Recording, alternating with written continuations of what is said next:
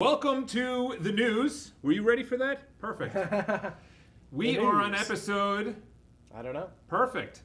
And we are bringing in two articles that I have, he doesn't know, and he has two articles that I don't know, and it's all about real estate news, deciphering what the headlines say as opposed to what's in the body of the text. I shall begin. Hmm. There is a new program by Palm Beach County where they're giving first time homebuyers eligible up to $100,000 and they're funding it for people who are buying in Palm Beach County for the first time, Interesting. including acquisitions, rehabilitations, new construction, down payments, and closing costs Wow. that will be used towards their principal place of residence. Very interesting. I don't think that they so has to be their primary. has to be their primary.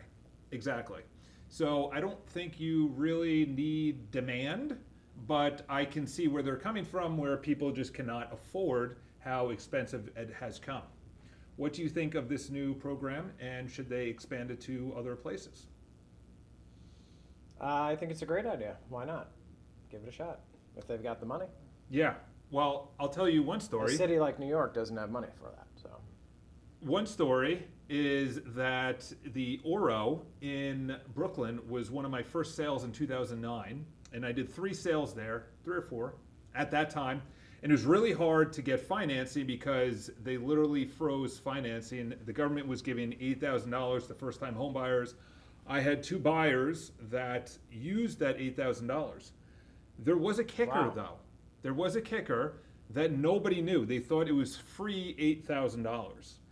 It was not free $8,000, and they actually had to repay the $8,000 in cash in the future. I don't know the reasoning, but when? When in the future? At the sale? well, this is the interesting part. They didn't know. So they bought, they thought that this was free $8,000 by the government to be used for first time homebuyers as a primary residence, similar to this, and it had to be repaid. One of the people was so mad that their attorney actually paid the $8,000 for I the was buyer. just about to say that's a great attorney. they never actually disclosed, you know, the asterisk behind it. So it'd be very interesting. no such thing as a free lunch. If you're taking this $100,000, make sure you read into it. That's my story of the day. It's good to see that people are providing some assistance to first home buyers. Article number two. Real estate trust bought dozens of Brooklyn brownstones. Now it wants out. I actually saw that. Huh. Yeah. I'm surprised. I was going to use it, but it was not going to be a positive article potentially. Well, I think it. I, one of the reasons that I printed this out, I figured that you could go through and read it because an Australian real estate investment firm owns 479 properties across New York City. They specialize in single family and one to four unit homes. So they own a ton of property.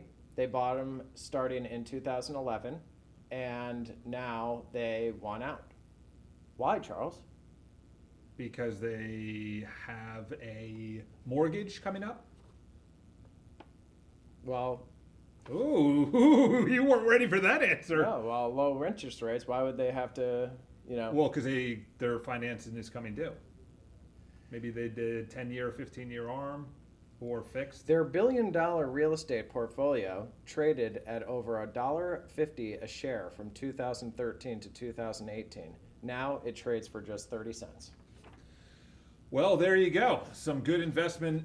So they need to get some liquidity. Yes, they do. So there's going to be a lot of brownstones coming on the market in Brooklyn.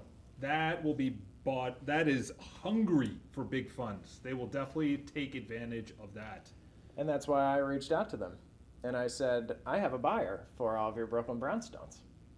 Oh, I do too. Actually, that's very Huh. interesting. Yeah. Thank oh, that's you. a good idea. Maybe that's what a real It's- estate agent should do. it's a Huh. bidding I didn't war. look at the article because it looked negative. Well, the title was very negative, but that made somebody click, which is good, and not me click. So Yeah. that's the Uh, difference. I wonder why. Well, I, I thought I thought real estate was always a home run investment. I mean, uh, Talking about Australia, tourists Ah. are back in big numbers in New York City. I know you covered one in June or July about this. I'm going to bring up some numbers because everyone says New York City is Look at the data. dead, but let's look at the numbers. So the biggest amount of tourists, or the highest amount of tourists ever in New York City, was 2019. All right. Times Square pedestrian traffic in 2019 was 360. We are going to probably have, and this is per day, Times Square traffic 365,000 in Times Square. That was 2019. We have topped out at 400,000 this year. Wow. 63 over 63 million visitors this year 12% up from last year and it is only 3 million away from the record hotel occupancy is at 87 over almost 88% and near times square it's above 90% on some weeks this Is that is uh, the tourists or the migrants? this is the very interesting one. Flights between China and the US are only at 10%. Wow. 10%. Wonder why. So, Only what does that mean? Percent of what it used to be in Yeah. 2019. So, that means almost 80% is coming from other countries, other states, other areas. So, imagine if China was at 100%. We would be at like 70 million people. There would be this place would be crazy. Uh, with uh, so that that was the one data point. So right now in 2019, they were averaging 365 a day, 365,000 a day. Yep. And currently in 2023, we're averaging 4,000, 400,000. 400,000 Wow. and that's just Times Square pedestrian traffic. Just Yeah. Times Square. So that's not the whole city because obviously when 63 million people are visiting, you divide that by 12 months, that's more people. But it just shows that's the one factor. And imagine if more people from China was coming to the US. So Wow. That that's There you go. What WeWork's restructuring means for New York City real estate. We are in one. We are in one. And it's interesting because I think I heard, I don't know where it was, but uh, Cushman has already reached out to every single one of the WeWorks about purchasing or releasing their place. So, yeah, there's a lot of opportunity from the WeWorks. It's kind of like this uh, Brooklyn Brownstone company. You know, there is going to be restructuring, there's going to be availability, and then there's new people looking to come in and assume those leases. So, I thought that was really interesting, especially since we are in a WeWork, like you said. Certain buildings are better than others. At one point, you know, going into, I'd say 2019, WeWork was the number one uh, leasing of properties, Yeah. of offices in New York City. So they'd lease out entire buildings.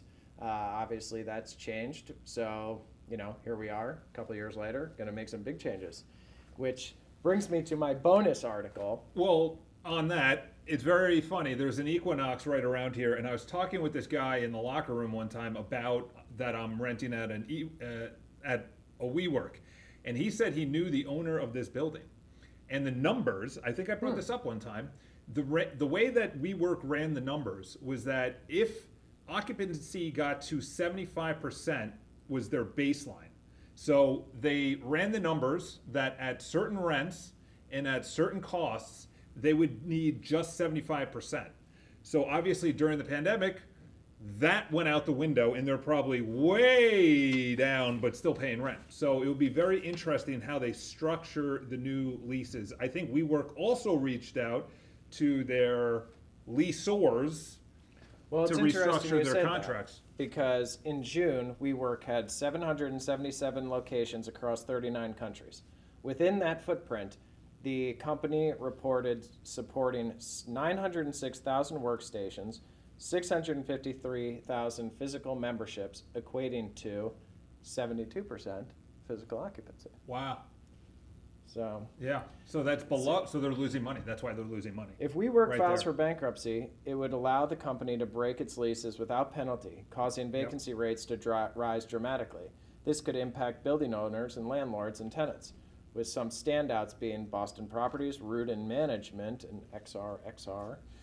Listen, they're not going to go out of business. Okay, they're not going to go out of business. But they're even if they file for bankruptcy, like uh, the building that we're in is over ninety percent occupied at all times. So Yeah, well, Manhattan's office vacancy rate reached an all-time high of twenty-two point four percent in the second quarter.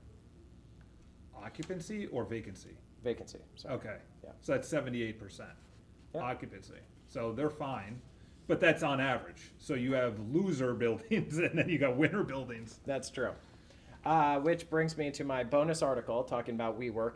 Adam Neumann sought more space at a building that he leased to WeWork.